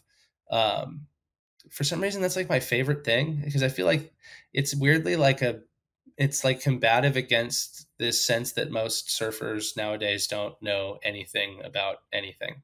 Mm. And I don't you know, I, have like a stack of magazines behind me for this project that I'm working on here called the Center of Radical Education, which I think I sent you renderings for. Yep. That uh, is going to be like a whole archive of every surf magazine and every surf movie ever made, and like a curated exhibition space around surfboards and you know surf history and culture. But a large part of it for me is about being able to actually see in real time you know what people are talking about when they come in and talk about a single fin or a twin fin mm-hmm. or a thruster instead of being like oh yeah this was you know relying on someone who could often be an unreliable narrator to explain surfboard design for them to be able to go in and actually see what all this stuff looked like and what those boards look like and what they're you know what the enti- entire vibe of that of each era of surfing is um, as a as a way of combating the like ignorance culturally, or I should say subculturally, that most surfers that have learned how to surf in the like internet age, where history sort of doesn't exist unless it's been sort of packaged within a short feature, you know, and something that you guys do or we do, um, they don't have access to you know all the stuff that we did growing up. They they don't have that like tangible ability to go and like interact and absorb all the like granular surf history that I think our generation was able to. They might know exactly what every surfer of the last 10 years has done on social media, but they don't know, you know, why the Aipa Sting was invented and, you know, why Mark Richard, you know, just stuff that like it might not seem important, but to me it's what makes what separates surfing from tennis, you know? It's like what separates rock and roll from elevator music um, it's all of the references and all of the subcultural capital that like has come to create the culture that you just sort of walked into. And i don't you know growing up as like a young kid around a lot of older guys in the surf scene or the punk rock scene or whatever it was it was always like my like armor against feeling insecure around elders or people that were like you know higher status within a hierarchy to me was always about being as academic as I could about surf culture, and that was through surf magazines and surf movies and like paying attention to them. Um, and so, yes, I'm, I'm, I mean, I actually have one box of like a huge cache of surf magazines. I like put it out there to a few people. About, I'm trying to build this like a you know full authoritative archive of it. And this guy Dan Dolan reached out. He's lived here since the 70s and is moving to Australia to retire and I told him about what I was doing, and he's like, "Oh, I'll stop by." And he brought by like 500 magazines: Surfer's Journal, Surfer, Surfing, Australian Surfing Life, Longboard magazine, Scott Hulet's first magazine before he took over the Surfer's Journal, like a bunch of surf videos, like all this stuff, like just fully like brought it over. I was like, oh my god, people get it. Like they, they, he's like, man, I just this stuff just sits in people's garages and like collects dust. Like people should see this stuff and so that's the idea is it'll be like a you know sort of library that people can come and look at this stuff and buy a cup of coffee and check out really beautiful surfboards made by Owl Chapman next door or these like shaping residencies that we're going to do at third stone the factory at the Waialua's sugar mill that i work with um, with steve williams and the guys there that do Owl's boards dennis pang Pyzel, dhd lost pretty much like all the major board brands in hawaii. Um, and so it'll be like sort of a attached like partnership space between those guys. Um, When's when, what's what's going. the ETA on this uh, Stoke you're building here, buddy? It's it's gonna be after after the baby boy in February, but I'm working on like renderings and getting all the design like sort of uh, nailed down, and then it's just about getting the the budget and the investment all finalized um, to get the building built. But in the meantime, I'm doing a bunch of stuff with Third Stone that's tied to the same project as far as shapers, residencies, and stuff here in Hawaii. Um, part of what I'm trying to build is a little network through all the different factories that I've worked with over the years doing the acid test and stab in the dark and all these different board projects um, to be able to have this exchange between regions of laminators and shapers and board builders. Um, so our friends in New York that run Pilgrim, they have a space across the street where they're able to host shapers, and then this, these two brothers, the King Street Glassing Crew, have a glass shop right there. So during the summer, the guys from Hawaii can go to New York and build boards and do events there, and then during the winter when it's too cold to build boards in the Northeast, they can come to Hawaii and you know glass boards with Owl and you know do sort of like limited run production in each region um, so that the boards are sort of kept locally and built locally with but still by the best surfboard shapers on the planet. Um, and so that those guys can go and spend time in those areas.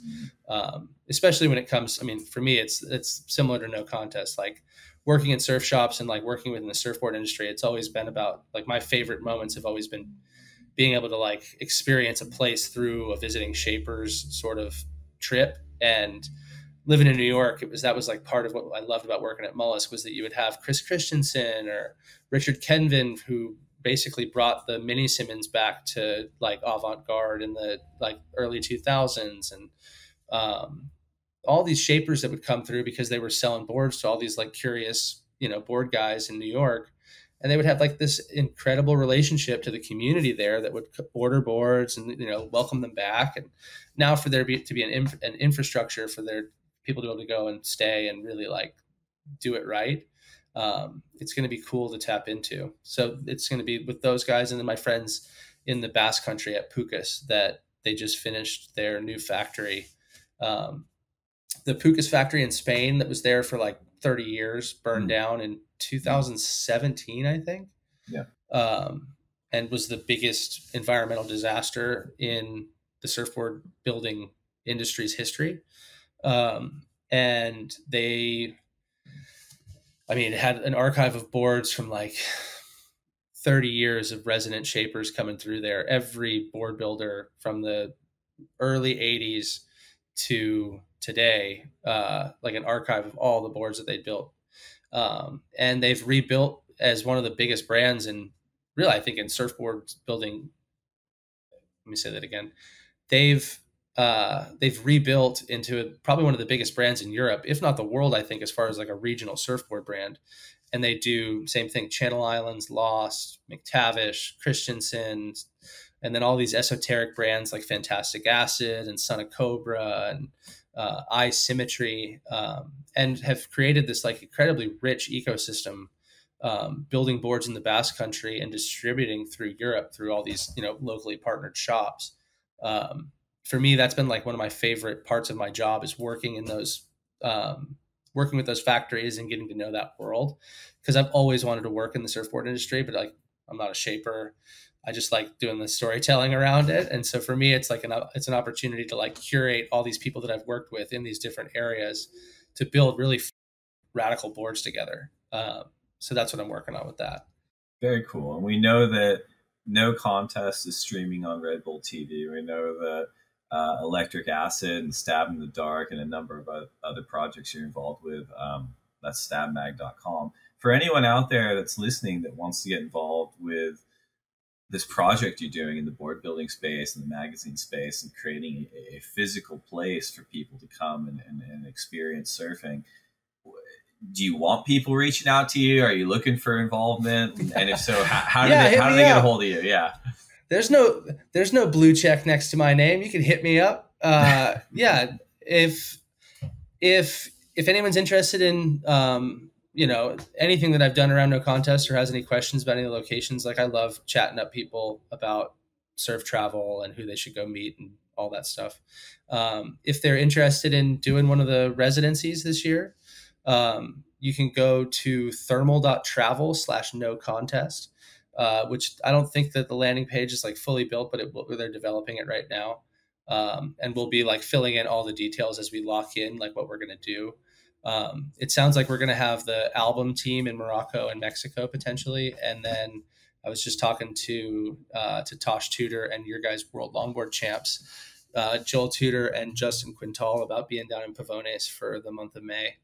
Um, so we're just working out all the details on that. So all that's like still up in the air, but um, it should be it should be really cool. Pretty.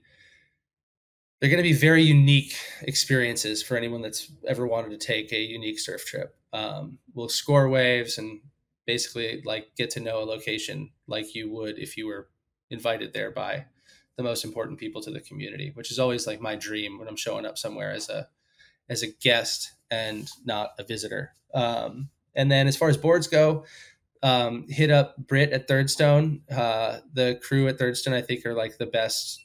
They're my favorite little like epic ragtag, functional dysfunctional family.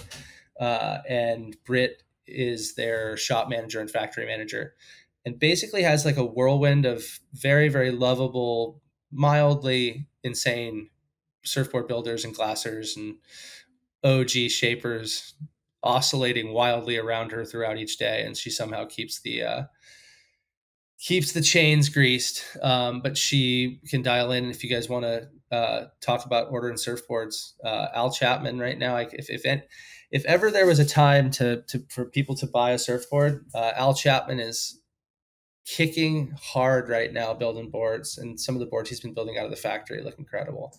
Um, and he's one of the last of the original big wave cowboys. Um, Nate Fletcher introduced me to him years ago when we were doing a project. He hadn't done interviews in probably 10 years since a lawsuit with the Surfers Journal over a feature that Jeff Johnson wrote that basically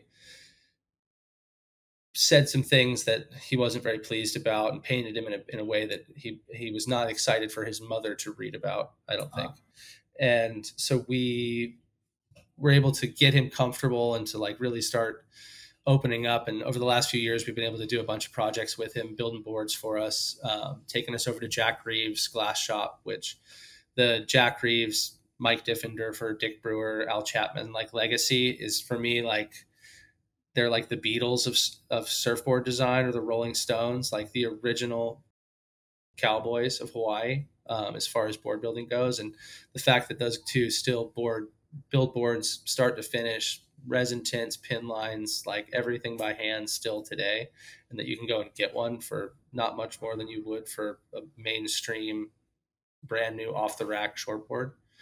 Uh, it's a trip. It's like still being able to order like a Chevy Impala or something like that when you're going to shop for a, a Prius. I love it. Well, before you go, we did put out a feeler for questions from the Instagram community that the Oh pod. boy, that was the only thing that I've been nervous about. Whenever I see, whenever I see crowdsourced questions, I'm like, oh boy. There's some good ones. Uh, we've whittled it down to three. Uh, first question is from at Rick Dev Ryan DT. Sorry, Rick Dev, I'm sure I butchered that, but his question or their question, excuse me, is of all the no contests you've done, uh, where would you like to live the most? Where would I like to live the most? Um, probably Morocco. My wife would hate me for saying that, but I think Morocco is one of the places where the Morocco or southern Brazil. I think eventually I will live in Brazil for a while. Same thing. My wife will not like me saying that, but um, yeah, as far as the combination of just like open, warm, cool community vibes and good waves and affordable, you know, sort of lifestyle surrounded or whatever. Uh, as far as affordability of lifestyle focused around surfing, I feel like that Morocco for me is like the sweet spot. It's like the most consistent coast. Or South Africa. It's hard, man. Uh, yeah, I'm gonna say Hawaii since I live here though. I like it. A good answer. Uh, second question is from at k.beachy, who asks, "Who is the coolest person you've been able to meet?" Probably Peva Levy, mm. the guy I was telling you about. We were talking about in Tahiti. Um, yep. I, for some reason, like a character like that, who when you're in his presence, you're like, wow, this guy has like an energy. I don't know what it was like to meet like people that you perceived as being like holy people. But as far as like activists and people that have like that have just like authority to them without being seen as like intimidating. There's like a sweet spot that that guy hit when we were interviewing him where I was like, man, I feel so lucky to be able to talk to this guy.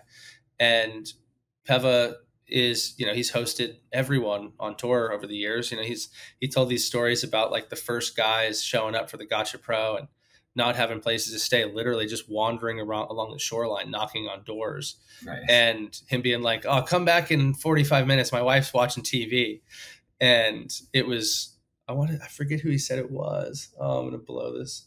Um, but basically, that like that was how it was. You just like that's how the homestay thing started. It was like they had to figure out a place to put everybody. right. So fun. Um, and it's so rare that you see someone who's like stood firm in their integrity around you know the value of land when to to own the entire valley of Chopes and to keep it preserved and wild when I'm sure that countless people have come and made exorbitant offers over the years to build a ridiculous development on that cliff overlooking that valley and that wave. Uh, he has this great line in one of the um, interview scenes in the Tahiti episode where he's like, "The money's like sand, man. Like it goes. It's like the land still here." And like in the most simple terms, it was like the it was like the polarizing difference between like greed and like stubborn, complete like local pre- like preservation and uh, and like commitment to keeping a place wild and small and as you've been there. It's like it's a it's an ecosystem unlike anywhere else on the planet, with one of the most freak waves on in, on Earth. And for him to be like the chief that's standing in front of the way of anything going wrong there, um, it was uh, yeah, it was rad. It's a great answer. Uh, third question is from at Wes Weber four, who asks if you had to surf a heat against a current CT surfer who would you have the best chance against? I like this question. Um, that's like it's like setting me up for an insult. Jack Robinson, I can f- with Jack and give him nonstop, and he would he would he would try and like overplay it back to me and would over surf and fall and uh, but also just because it would be really fun to surf a heat with Jack. Uh, but yeah, that's I don't know. I like it. I appreciate that you're game to answer. As you said, that's a that's a that could be a dangerous question. I'm into it. Well, thank you to yeah. everyone who wrote in. And at the lineup pod, we are now down to our final segment. It is the lightning round. Uh, these are 10 questions that you have answered before, and I have your answers from last time, so we're going to cross reference them. Right. so you can answer as we'll quickly how, as you can. We'll see how much you've changed. It's been a, it hasn't been that long. It's like the every every seven years you're a different person. Like every every seven months, I'm a different person on the appearance of the lineup. yeah, it could be. Uh, okay, if you can only have one board set up for the rest of your life, single fin, twin fin, thruster, quad bonzer, or finless, which would you choose? Quad. All right, that's the same. Good job. I've been riding. I've been riding these Griffins to Panic like sort of 70s outline quad guns, almost as short boards when the waves even aren't even that big. And I've had them for years. I got one of the best waves of my life on one of them, like probably five years ago at Log Cabins. And I just got it back from my brother, and they're both like perfect glass on, like heavy glass quad fins and I forgot how good those feel on a real wave, and it like fully resparked my interest in just riding one design for a while because uh. I've been on like a full whirlwind of riding boards. I've got like asymmetricals from AH Vessels and Album. I've got twin fins from Hani Ovadia from Israel. I've got like a bunch of Pukas boards that they brought to Morocco. Like I've been on like a little bit of a spin out on surfboard design. Uh, and yeah, I'm, I'm kind of excited to like spend the winter riding like one or two boards. I like it. It's a great answer. Uh, coffee or tea? Coffee or mud water now. Is that an option? I'm actually yeah, very sure. impressed. Yeah. Uh, and this is like non, this is not like product placement. This is genuinely my, like my second or third cup of it. Don't worry. We don't uh, go for free ads on this podcast. I'm into it. Mm. Um, no, one, no one gets in the back door. um, the you last time you answered Ace Coffee, so I appreciate the update here. It's good. Where you there we go. Uh, burrito or pizza? burrito. I'm sure I said pizza last pizza. time. There you go. Yeah. but I was just in San Francisco and I went, I, I drove by uh, the old Cancun down in the mission and I wasn't even hungry. I was like, this. When else am I going to be here to get like a proper mission style burrito? Because supposedly the burrito was invented in San Francisco. I don't know if that's true. I have to fact check that. That was something that one of the producers on the show, Corey Stevens, brought up. And I was like, really? Because I was associated with like Lebanese wraps and all types of other things. But yeah, it was uh, carne asada and really good hot sauce, guacamole. Like what? It's a it's a it's all the best food groups and all the best spices wrapped up in one thing. It's a great answer. My my kids are always like hitting me on this question, and I always say burrito because I feel like it's more versatile. Like it's like I can do it for breakfast, I can do it for dinner. You know? Um, yep. Next question. It'll be interesting if this is your same answer. We're gonna call you out here. Last book you read. Uh, I just read for the third time, but it felt good to read it again. Uh, a Pirate Looks at 50, the Jimmy Buffett uh, biography, or, or, 40, I'm sorry. 40? Is it? I just put it down. I, think, I thought it was 50, but I could be wrong. 50, yeah. I, I appreciate uh, that you couched it as like this is the third time I've read it, so it would if you had answered that last time, you would have been fine. But last last time you said the story by Richard Powers. Uh, that best surf film I just, ever. I just thrust that book on someone else too. Oh, um, the best surf film ever is.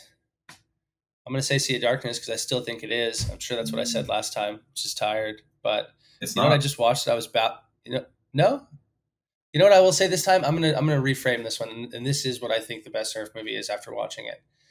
These colors taste like taste like music by Sonny Miller and Nate Fletcher. I watched that movie the other day because I was showing someone some of Nate's old stuff.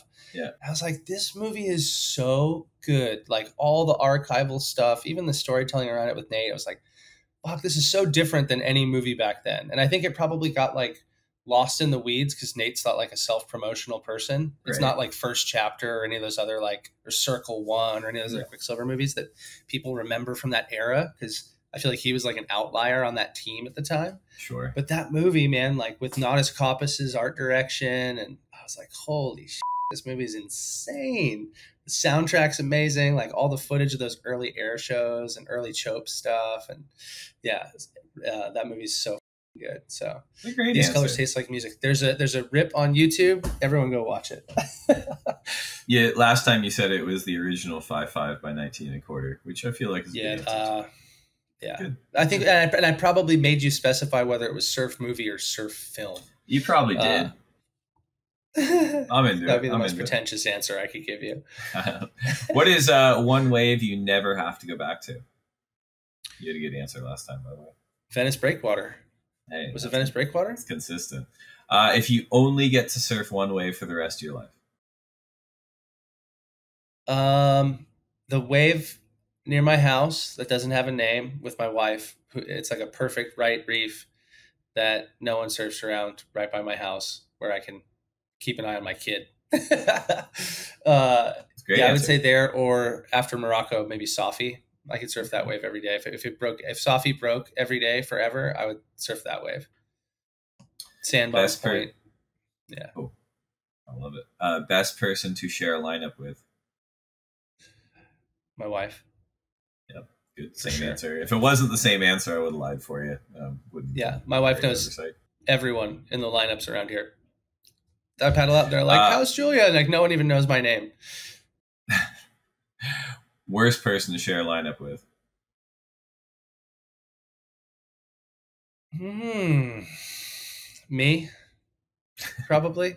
like free surfing in between heats. I've had the worst I had the worst. I had such a shocker at J Bay this year when we were filming No Contest. We showed up right before the event, and I got my my gear stolen, a wetsuit stolen, a bunch of stuff like as we were driving through. And so I was surfing J Bay like the day of the, the, the absolute swell of the season, like two days before the contest. It wasn't even two days before the contest, so I feel less bad. It was like a week before the contest, but it was firing. I was sitting out there in a spring suit. If you can imagine how cold that was, for like four hours not getting waves. Everyone was getting waves. Like there was no inside scraps, nothing on a brand new shortboard that I never ridden for that I got from the CI guys. And this wave came through like someone got stuck behind and fell off, and it was like on the button, and I like sort of like airdropped, took a chandelier on the head that like sort of broke on my head and whitewatered, and made it around the section. And as I came up, Yago airdropped on top of me, thinking that I was gonna like go straight and not like pull up into it. Like I don't know if he couldn't see me either, but it was just like boom. And that was my first wave of the whole session, like boom. And Yago came up so angry because uh, he's had this happen before and, and, in front of me, not to me, but to another person that works at Stab. Uh, and realized it was me and it was fine, but it was like an interaction that immediately was just like soured the whole session. And then finally I got one good wave and uh, it took six hours, but the whole time I was out there, I was like, I used to be such a pest out here. This is like karma for all the like two foot days that I caught like 60,000 little waves in, inside of everybody. Um, but yeah, I'm going to go with that. That's a good answer. Uh, last one. Finish this sentence. I will next achieve a state of happiness by welcoming our baby boy into this world, man. I'm like so excited. I've, I feel like most of the people that know me pretty well, uh, especially my friends with kids, have been just like, like when's it gonna happen? Especially since you know with with Julia and I, it's been like on the wall forever. That like it was in, it was in the stars. So when it happened, I was actually in Tahiti when we found out, and it was like a casual Zoom call. First time we tried, didn't think anything of it. Like just going through the motions for the first time, like never done it, and there was people around. It was like a whole thing. Everyone knew. The next day in the lineup, Michel Bourez was like, "Hey, Dad, yeah, Papa." Uh, so it, it definitely put like a surreal spin on the experience of finding out that you're about to have your first child because there was there was no processing time. It was just like boom, everyone knew. But uh, my friends down there, I, I, was around when they were pregnant with their first kid, um, Tahurai and Hinatea, and they had their uh, his name's Takehi, and he was just romping around like, and, and, you know another friend had babies down there, and it was like uh, it was meant to be. So it was a it was a pretty surreal experience that I will always remember. Good for you, man, and congrats to you and uh, Julia again, and thank you so much for coming on Thanks, uh, the lineup again, man. And for all the listeners out here, make sure you are checking out No Contest on Red Bull TV uh, and the electric acid surfboard test on stabmag.com. And yeah, just bother yeah. Ashton on social media if you want to get involved in any of his myriad projects. Yeah, hit me up. Uh, yeah, thanks to the guys from Red Bull for supporting No Contest. It's like such a rad project to be able to keep doing as far as, you know, just telling local stories and um, shining lights in spaces that don't necessarily always get the attention. Um, and go subscribe to Stab Premium. Like support independent surf media. Can't complain about things being shitty unless you support good shit. I love it. Put that Thank on a t-shirt.